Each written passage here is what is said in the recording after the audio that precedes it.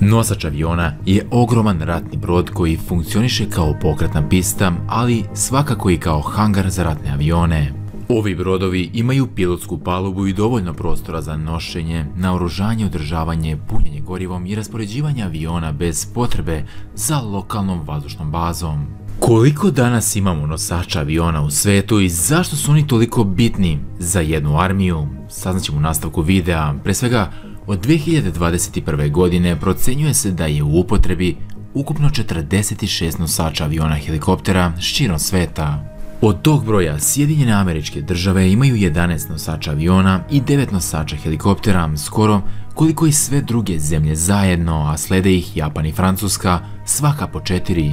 11 drugih nacija ima najmanje jedan nosač, a još nekoliko u izgradnji. E sad, dok američka mornarica ima najveći broj 11 nosača aviona u službi, mornarice Kine i Velike Britanije imaju dva nosača aviona.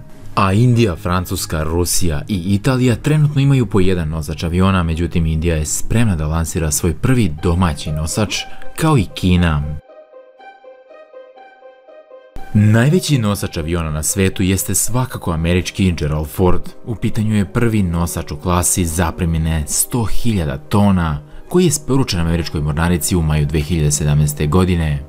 Međutim, Amerika nije najmoćnija mornarička sila jer je tu titulu izgubila od narastajuće kineske mornarice, kao najveće pomorske sile na zemlji sa ukupno 355 brodova, što je potvrdilo i samo Ministarstvo odbrane Sjedinjenih država u nedavno objavljenom izveštaju. Kineska mornarica, poznata kao mornarica Narodno-oslobodilačke vojske, ima 355 brodova i podmornica, ali se očekuje da će ovaj broj samo rasti u budućnosti, a Ministarstvo odbrane predviđa da će kineska flota porasti na 460 brodova do 2030. godine.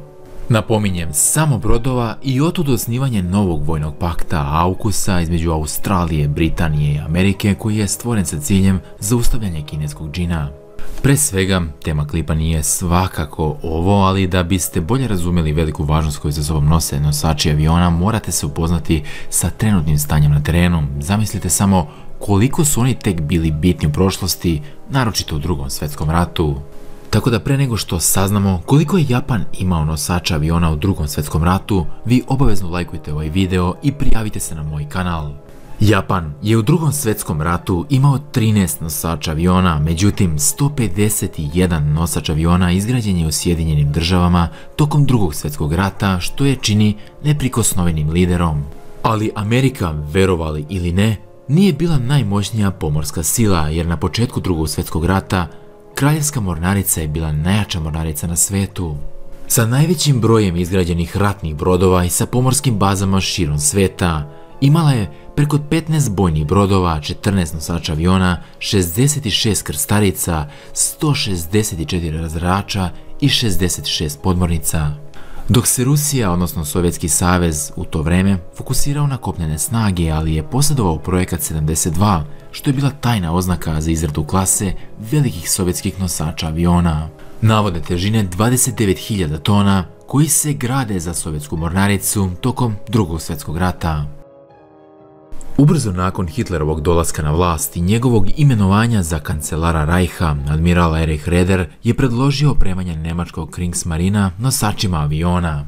Hitler je naravno za ovo bio zainteresovan i 1935. godine planovi su bili spremni. Samo godinu dana kasnije postavljene su finalne pripreme za izradu dva nosača aviona.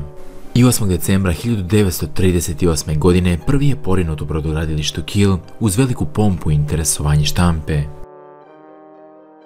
Kraljevska mornarica je počela da pretvara brodove u nosače aviona pre kraja Prvog svjetskog rata, da bi do ranih 1920-ih Japan i Sjedinjene države se pridružile tom trendu. Vašingtonski pomorski sporazum ubrzo je tempo izgradnje nosača, što je dovelo do pretvaranja nekoliko velikih bojnih krstarica u nosače flote. Francuska se pridružila ubrzo nakon toga, a čak su i Sovjeti i Italijani napravili neuspešne korake ka izgradnji nosača, kao što je pomenuti projekat 72. Sve u svemu, Versajski ugovor je oštro ograničio nemačku avijaciju i nemačku pomorsku konstrukciju, zbog čega su nosači aviona isključeni, međutim, kada se Hitler odrekao tih ograničenja, na jelovniku su se vratili nosači aviona. Anglo-nemački pomorski sporazum dodijelio je otprilike 40.000 tona nemačkoj granji nosača, a Reich je prvobitno odlučio da izgradi dva broda od 19.000 tona, što je otprilike veličine američkih, japanskih i britanskih nosača flote. Iako je pristup stranim nosačima aviona bio ograničen, Nemci su uspjeli da nabave neke inženjerske materijale iz Japana tokom procesa projektovanja.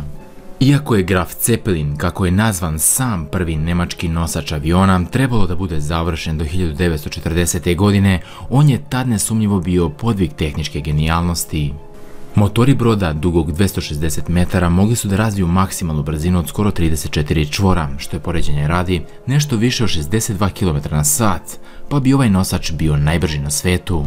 A pri brzini krstarenja brod je imao domet od skoro 8000 nautičkih milja, 8 topova kalibra 150 mm, kao i protivavionski topovi flak 105 mm, dali su nosaču ogromnu vatrenu moć.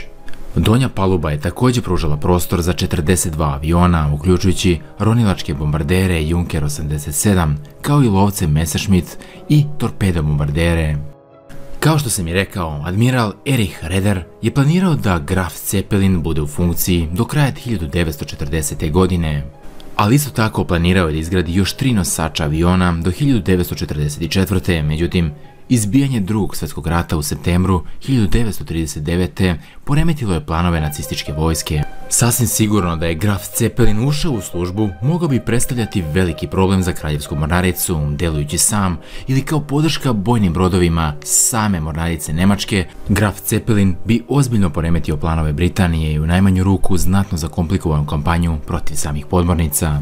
Kako se rat širio, postalo je jasno da je završetak Graf Zeppelina ugroženo zbog nedostatka potrebnih materijala, ali i specijalizovanih radnika. Nešto ranije, da bi se nadoknadio nedostatak čelika, odlučeno je da se obustavi izgradnja drugog nosača aviona, iako je ista uveliko započeta, ali kada se 1943. godine ispostavilo da je Graf Zeppelin još uvijek nesposoban za plovidbu, tada 67-godišnjeg admirala Hitler je gurnuo u stranu i zamenio ga sa Karl Denicom. Kao bivši komadant podmorničkog naoružanja, Denic nije verovao u strateški značaj nosača aviona i prestao je sa radom na samom Graf Zeppelinu.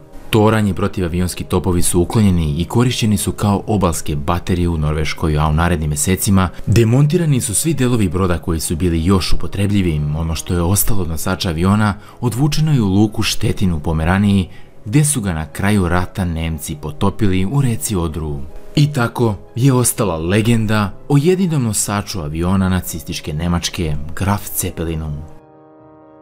Hvala vam na pažnji, nadam se da vam se dopada ovaj video, da ćete lajkovati isti i da ćete u znak podrške se prijaviti na moj kanal u opisu ovog videa, imate linkove mojih društvenih profila gdje me možete slobodno zapratiti, a meni ne proste ništa drugo, već da vam se zahvali na pažnji, pa se vidim uskoro sa nekom novom pričom, vaš novi Anonimus.